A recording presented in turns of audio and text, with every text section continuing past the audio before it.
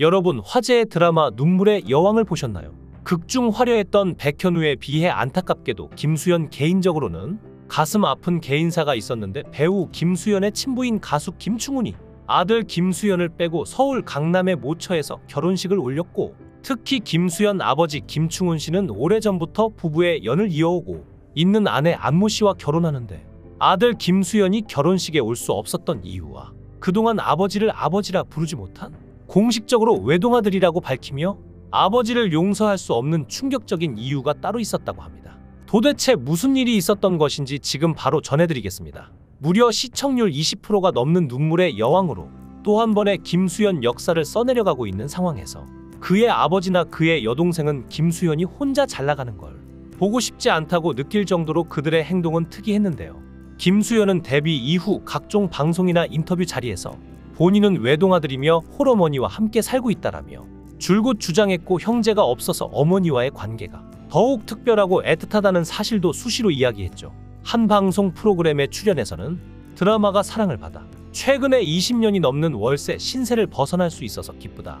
며 본인의 힘으로 어머니가 행복해하는 모습을 보는 것이 정말 좋다며 얼른 더 성공해서 전세가 아닌 내 집을 선물하고 싶다는 효심 가득한 말도 전했는데요. 많은 이들은 홀어머니 밑에서 자란 멋진 아들 김수현의 모습은 근사했고 어린 나이지만 어머니를 먼저 챙기는 모습에 많은 시청자들의 시선은 따뜻했죠. 물론 이 사건이 터지기 전까지 말이죠. 한창 김수현이 잘 나가고 있던 어느 날 내가 김수현의 여동생이다 라는 한 여성이 등장하는 사건이 터지고 마는데 바로 김준하라는 이름을 가진 20대 초반의 여동생은 눈매와 인매가 김수현과 닮은 앳된 외모의 소유자인데요. 그동안 외동아들이라는 말을 스스럼 없이 하던 김수현인데 어떻게 된 일일까요?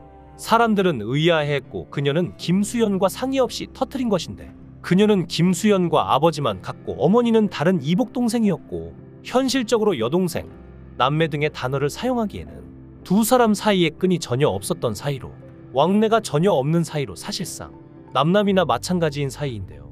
하지만 김수현이 눈물의 여왕으로 한창 잘 나가고 있는 지금 갑자기 재혼하고 계시는 아버지와 여동생이라고 주장하는 이복 동생의 아버지가 같습니다. 결국 김수현의 동생이라는 이유로 김준하라는 이름이 순식간에 검색어 1위를 차지했고 김수현의 가족사를 궁금해하는 네티즌들의 움직임이 빨라졌고 가수 김주나는 배우 김수현의 이복 동생이며 세븐 돌핀스 김충훈은 김수현의 아버지이고 김수현의 아버지인 세븐 돌핀스 김충훈은 김수현의 어머니와 일찍 이혼을 선택을 하고 김주나의 어머니와 결혼을 했으며 현재 김주나는 그래서 김수현의 이복 동생이 되었고 가정사가 보도되었다는 것을 두고 당사자 중 한 명이 공개했을 것이라는 주장이 나오게 되고 거기에 김주나가 참여했던 드라마 OST가 발매되었던 다음 날이라 김주나는 노이즈 마케팅이 아니냐며 많은 비판에 시달려야 했는데요. 파장이 커졌던 김수현, 김주나 가족사는 양측 소속사 공식 입장을 통해 인정하면서 조금 진정되게 되고 키스트 측에서 다소 뒤늦은 공식 입장을 밝혔는데요. 처음 보도되었던 기사에서 나온 내용과 달리 함께 산 적도 없고 왕래도 없었다고 선을 긋는 모습이었지만 김주나는 김수현의 이복 동생이 맞다는 소속사 측에 공식 입장이 전해지고 김준하 프로필 가족 관계 항목에 오빠 김수현이 기재했고 거기에 당시 처음 보도된 기사를 보면 일부러 가정사를 숨겨온 것은 아니고 어린 시절을 함께 보내며 지내왔다는 식으로 보도까지 돼 파문은 걷잡을 수 없이 확산되게 되고 쥐가 구리면 조금 가만히 있었어도 됐는데 말이죠. 여기에 수많은 사람들이 김준하를 비난하는 이유가 김수현이 아버지 김충훈과는 어릴 때부터 별로 왕래가 없었는데 부모님의 이혼 후 어머니와 단둘이 살아온 김수현 씨. 이혼 후 홀로 자신을 키운 어머니의 심정을 이해한 아들 김수현 씨. 어릴 때 김수현이 외가에서 자랐는데 당시 가난 때문에 굉장히 고생을 했었는데 아버지는 엄마에 대해 별로 도와주지도 않고 특히 김수현이 어렸을 때부터 심장 질환을 앓았고 2010년에는 심실상성 빈맥으로 수술을 받기까지 할 정도로 김수현이 몸도 좋지 않았고 심지어 가정 형편도 좋지 않았는데 아버지 도움이 없이 살아왔고 여기에 갑자기 가수 준비를 하고 있는 김준하가 김수현? 의외의 이름을 갖고 한류 톱스타 이복 오빠 덕분에 유명세 혜택을 받으려고 김수현과 상의 없이 사실을 공개했다며 비난받고 심지어 소속사에 들어간 것이 김수현의 이복 동생이라는 사실 자체였을 수도 있다며 비난을 받았습니다. 제발 가만히라도 있지 결국 김준하는 SNS를 폐쇄했고 포털 사이트에 올렸던 오빠라고 등록한 김수현 이름도 지워진 상태인데요.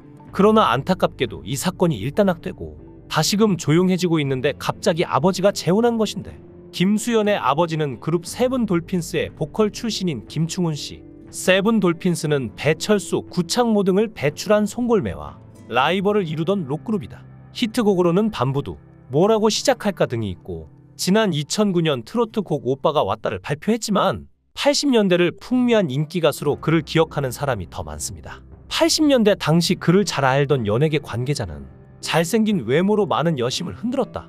김수현이 여자들에게 인기가 있는 것은 젊었을 때 아버지와 흡사하다.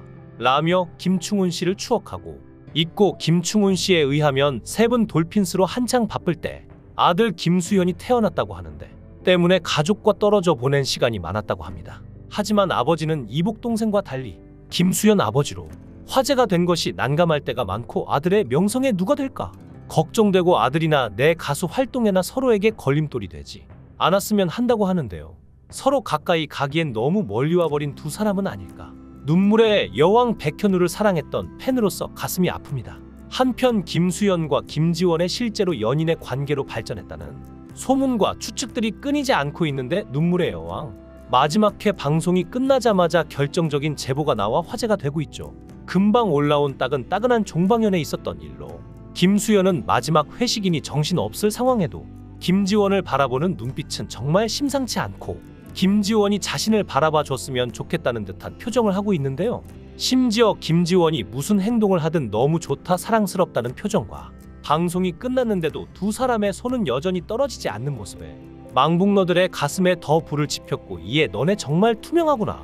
너무 즐거워 등 수많은 네티즌들이 환호하고 있습니다. 그리고 이어지는 첫 번째 영상은 김수현이 김지원 어깨를 만지면서 팔까지 내려왔다고 하는 영상인데 처음 봤을 때는 도대체 어디가 김지원이고 김수현인지 알 수가 없지만 다음 영상은 조금 더 확대한 영상이고 시력이 좋지 않는 사람들은 보이지 않지만 이를 본 많은 이들이 적의 친한 선후배로 할 수 있는 터치로 본다면 다들 열려있네.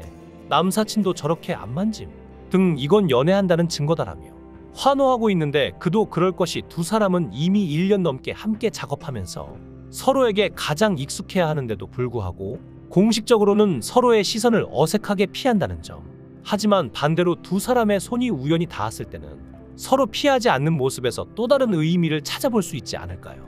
눈물이 여왕이 잘 되면서 김수현과 김지원이 실제로도 연인으로 발전하길 바라는 사람들이 많았는데 김지원, 김수현이 제2의 손혜진, 현빈이 되어 주셨으면 좋겠습니다. 귀한 시간 내서 영상을 끝까지 시청해 주셔서 대단히 감사합니다. 더 좋은 영상으로 꼭 보답하겠습니다. 구독과 좋아요 부탁드립니다. 강산TV였습니다.